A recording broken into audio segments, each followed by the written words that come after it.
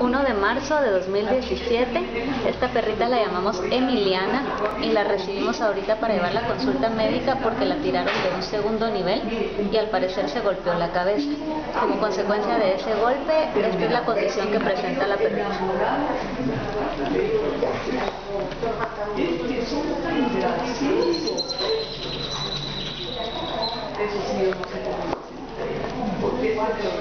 Así que ahorita estamos en la veterinaria para que la chequen y ver qué tratamiento se le puede aplicar para detener ese problema que ya está manifestando y que pueda llevar una vida de calidad.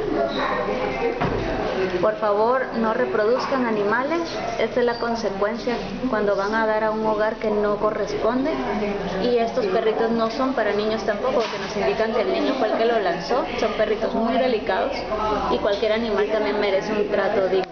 No los reproduzcan porque hasta los perritos de raza padecen la crueldad del ser humano.